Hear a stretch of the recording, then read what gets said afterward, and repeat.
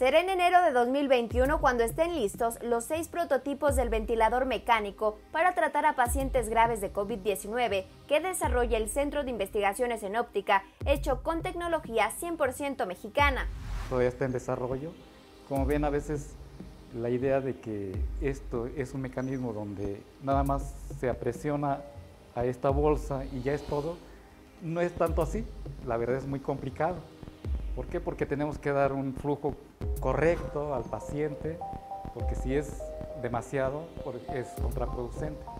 Entonces lleva mucha electrónica y también queremos darle un sello especial el CIO, que es introducirle o incluirle elementos de inteligencia artificial.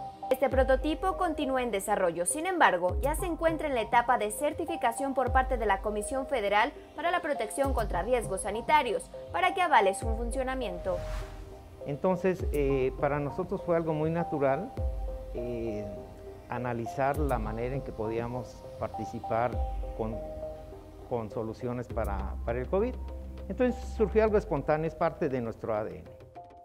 Hasta el momento, el ventilador mecánico que ayudaría a salvar vidas mantiene un avance del 50%. Su fabricación comenzó el pasado 23 de marzo ante la escasez de insumos a causa del coronavirus en el mundo y está pensado para abastecer a clínicas del sector salud en el país. Con imágenes de Rafael Paredes e información de Imelda Solano, TV4 Noticias.